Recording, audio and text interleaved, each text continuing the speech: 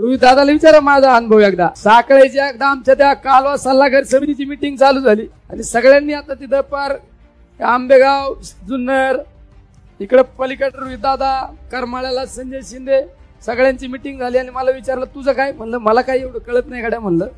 तुमचं वाहू द्या. सगळं झालं म्हणलं मला एकच काळात आहे कॅनल माझ्या हद्दीतून जातोय. नाही माझ्या लोकांना पाणी मिळालं हे ब्लास्टच करून टाकीन म्हणलं. म्हणलं याचा सोयी लावा. असं काळजी करू नका तुम्ही. आम्ही पाणी देणारे माणसं शंभर टक्के तुम्हाला पाणी कमी पडणार नाही कारण ह्या तालुक्याचं आणि माझं वेगळं नातं आहे. या तालुक्यात माझा जन्म झालेला आहे खरातवाडी पिंपळगाव पिसामध्ये. या तालुक्यात माझा जन्म झालेला आहे. त्यामुळे ज्या तालुक्यामध्ये जन्म झाला त्या तालुक्यासाठी काहीतरी करण्याची आज ही वेळ आलेली आहे. त्यामुळे तुमचे आशीर्वाद मला द्या. तुम्हाला अभिमान वाटण असं काम करून दाखीन अभिमान वाटण असं काम करून दाखीन. आणि सगळ्यांना सांगतो अभिनय तो कभी नाही हा.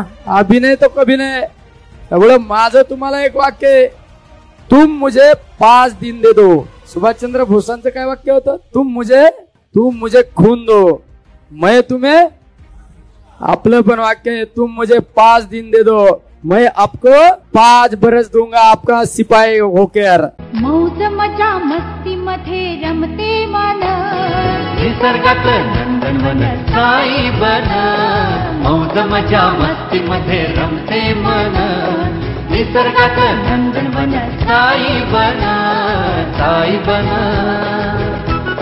सुटीचा आनंद लुटू झाडी हिरवीगार प्राणी पक्षी कारंजे धबधब्यांची धार ला ला ला ला ला ला ला ला ला ला ला ला ला ला ला निसर्गातलं नंदनवन साई बना साई बना टेन्शनपासून राहू दूर. आनंद घेऊ पुरेपूर. अल्पावधीत लोकप्रिय झालेलं पर्यटन स्थळ